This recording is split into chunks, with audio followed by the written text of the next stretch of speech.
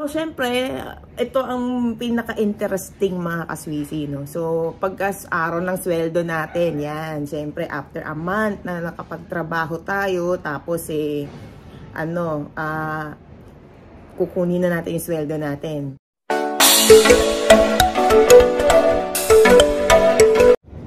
Hi mga kaswisi! So, nagbabalik po ako ulit sa aking uh, YouTube channel.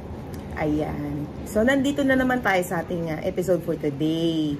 Ayan. So, bago ang lahat mga kaswisi, ay kung bago lang kayo sa aking uh, YouTube channel, so please hit like and subscribe and click the notification bell para maging updated po tayo sa aking mga videos for today.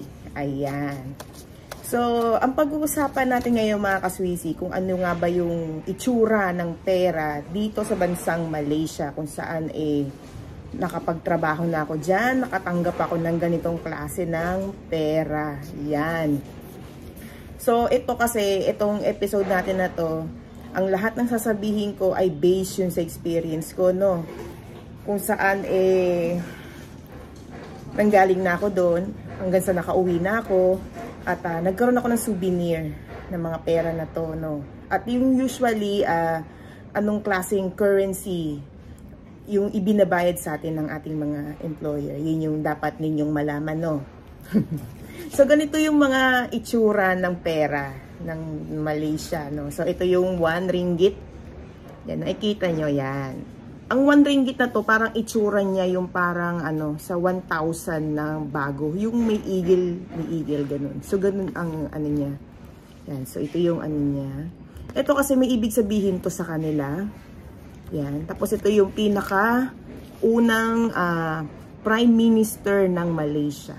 Yan. Ito yung alam kong ano. Ito kasi may ano to eh. Ito yung bulaklak talaga doon sa Malaysia. Yan. Yung ano. Kung sa atin, sampagita, gumamela, ganyan. So, same lang din sa kanila. Meron din silang uh, uh, tradisyon na ano, yung mga bulaklak yan. Katulad nito. Itong nakikita niyo. Yan. So, sunod, ito yung 5 ringgit yan. So, ang itsura niya ay medyo mas malaki. Yan. Mas ma, ano, kasi maliit siya eh. Ito yung mahaba. Mahaba siya. So, ganyan siya na makikita nyo. Ayan siya. Yan. So, ito yung 5 ringgit, no? So, ito yung uh, meron sa 5 ringgit. May ibig sabihin to. Alam ko sa ibang lugar to eh. Itong ano na to. Mas familiar kasi siya. Yan. So, ito yung itsura niya. Pero ang texture niya ay parang sa 1,000 na bago. Yung eagle, yun, ganun. Ganito siya. Yan, meron siyang ano. Yan. So, next, no, meron nito, 10 ringgit. Yan. So, kasing size lang. Ewan ko lang ha, wait lang. Baka magkamali Okay, so, medyo maano siya ng konti. Medyo lagpas siya ng konti. Yung sa 5 ringgit, no, kita niyo naman, no. Yan, ganyan siya. Yan. So, ito na siya. Yan. So, may ibig sabihin din to. Alam ko sa ibang lugar din to. Kasi maraming site ang Malaysia, no? Kung sa atin, eh, merong Quezon City, merong Manila, merong Valenzuela, may Balins, uh, Caloocan, mga ganyan. So, same lang din dito sa Malaysia. So, may ibig sabihin yan. Yan. So, ito yung ano niya, pera niya. So, next, no, ito yung 20 ringgit. Yan. Yan, mag magkaiba sila ng kulay, ah. Mm. Pero, uh, medyo maano siya ng konti. Lagpas, siya, lagpas din siya ng konti. Yan. So, ito na siya, no. Yan. Wala nga lang siya yung katulad nito ni 5 ringgit sa ni 1 ringgit na meron siyang ganito. Alam ko ito pinaka-latest na to eh. Itong gantong klase ng pera. Pero yung dati nila kasi naka-encounter din ako, naka-receive ako ng ganun. Ano siya eh, yung ganito din. Wala, siyang, wala nga lang siyang ganito. So ito, kung makakatanggap kayo nito, ibig sabihin, may changes na naganap or nangyari. Yan. So ito, yan, 20 ringgit. Ito yung likod niya. Yan. Alam ko sa Sabat eh. Saba. To. Yun yung alam ko ha. Ah. Kasi, di ba, sa, sa atin sa Palawan or part ng uh, ng Mindanao, 'di ba? May mga ganito. Yan. So alam ko ganun kasi 'di ba ang Saba at saka Mindanao medyo magkalapit, 'di ba? So 'yun. And ayan siya. Yan. So next no, ito yung uh, 50 ringgit. So ito siya. Yan. So, may bulaklak pa rin. yan. So, ito siya, no. So, ito yung likod niya. Yan. Alam ko ito sa KL to eh.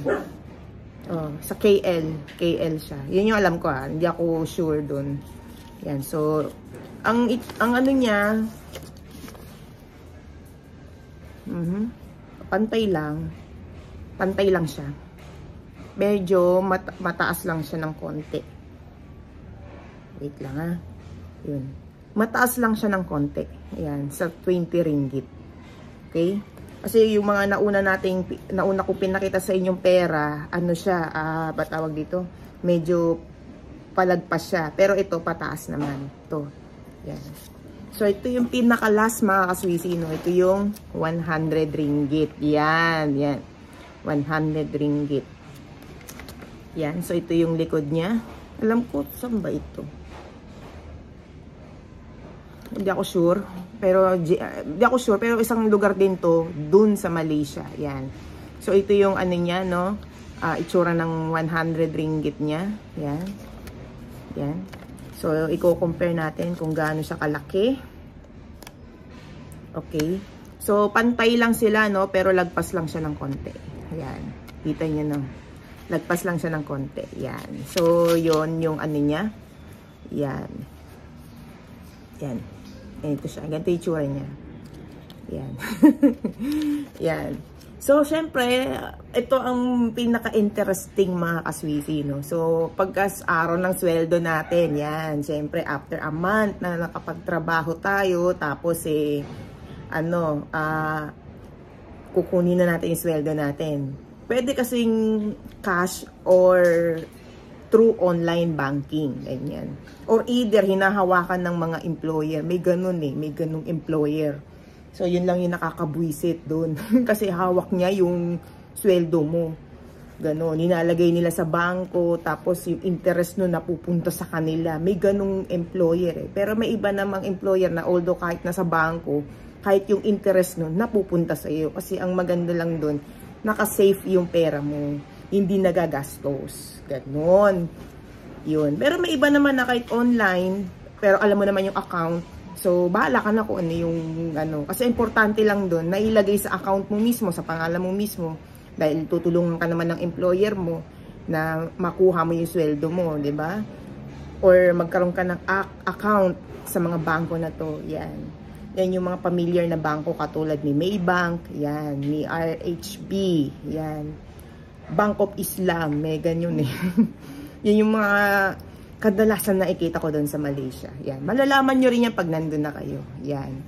So usually, ang mga employer natin, kung cash ang iyong uh, cash yung ibibigay sa iyo na sweldo ng amo mo, so pakakapalan talaga. So ito yun, binibigay nila madalas. Yan, 50 ringgit. Ultimo mag-withdraw ka sa mga bangko nila doon, sa mga ATM nila doon. Ito, ito yung makikita mo. Ito yung madalas nilang uh, binibigay na sweldo sa mga workers. Yun. Yun. So, minsan nakaka-receive ako ng ganito. Yan. So, depende. Kasi ito madali itong bilangin eh. Kasi ang sweldo nga is 1,940, di ba? Yun. Tapos makakatanggap ka rin ito. Yan. Minsan ito. Yan. Itong apat na to. Kasi ito, souvenir ko na lang to eh. Although kahit na walang-wala na akong pera dito eh, hindi ko naman ipagpapalito kasi minsan lang to. Na, minsan lang ako nakapagtrabaho doon. Eh, naging souvenir na ito sa akin. Yan. Kaya kahit anong mangyari, walang ano, hindi ko to gagastusin, papalitan ganyan. So, magkano rin to, no? Yung lalo na yung 100. Magkano rin to, no? So, ito yung, itong apat na to. Yan madalas natin na-receive yan. Yung mga ganito. Yan. Tapos, kapag ikaw ay bibili, no? Kung ikaw ay bibili ng mga kung ano-ano doon, eh, may mga sukli, lalo na may mga barya, may 50. Wala lang ako nun eh. Wala lang ako mga coins nun eh. Kasi dinispatcha ko na lahat yun eh. Kasi before ako umuwi ng Pinas, pinabubuo ko na yun ng mga tigwa 1 ringgit, ganyan. Ang dami ko kayang mga 1 ringgit, 5 ringgit, 10 ringgit, ganyan. Yun. So, ito yung makikita mo sa mga tindahan. Alimbawa, may, bibili, may bibilin ka. Ito yung makikita mong sukli. Ito yung susukli nila sa'yo. Yan. So, yung ano, Huwag ka na magtaka na ganito yung mga pera nila, may maliit, may malaki, ganyan. Hindi kasi katulad sa atin na iisa lang yung ano, yung alimbawa itong 20, 'di ba, sang hilera na 20, uh, 50, 100, 500 ganyan. Dito kasi sa kanila may maliit, may may katulad nito, ito yung pinakamaliit. Tapos merong sumunod. Ayan, katulad nito, may sumunod na na ano tapos, mayroon din naman mataas ng konti. Yun nga yung 50 ringgit at saka yung 100. Yun. So, ito yung mga pera ng, ano, ng uh, Malaysia. Yan. So, ito siya, no. Isa-isay natin. Yan. Ayan siya. Ay, naku. Makakatanggap kayo nito. Yan. Kayo mag-alala. Yan. Magkakaroon kayo niyan. Yan. So, ito yung itsura niya, no. Diba? Lalo na pagka magbibilang na yan sa harapan mo, ang dami kaya. Um, so, saka ko na i-reveal kung magkano yung naiuwi kong pera. Gago! so, dito, dito muna tayo. Yan. So, ito, yan. Kita mo ba yan? Ganda, ba? Oh. Ito, itong mga naipon ko na to, itong tinabi ko, itong mga bagong pera talaga. Siyempre, pag may mga tupi-tupi, siyempre, eh, dispatcha ka muna. Siyempre, maghanap tayo ng mga bago. Yan, katulad dito, bago yan. Yan. Bago din to. Ito, ito talaga marami akong naiuwi nito. Kasi pinagpalit ko nga eh. Na, na-receive kong ano no, no nagdoon ako sa airport. 'Di ba merong foreign exchange doon. Lahat ng ganito ko nasa 200 din ah. Hmm, laking bagay din. Kahit 1 ringgit lang. Nakaipon ako ng 20. 20 na ganito. 20 pieces. Yan. So ito yung ano. Yun. Yan. So, I hope na nagkaroon kayo ng tips and ideas pa rin, no, mga kaswisi, yung mga currency ng mga pera ng Malaysia. Yan. Napaka, ano nito. Nasasabi kong, ano, okay talaga. Siyempre, iba nga naman ang currency doon. Pag pinalit sa Pinas, mas malaki ang makatatanggap natin dahil na sa pamilya natin. Yan. So, i-discuss ko naman yan sa next, sa next episode natin. Yan. So, hanggang dito na lang ako mga kaswisi. Bye!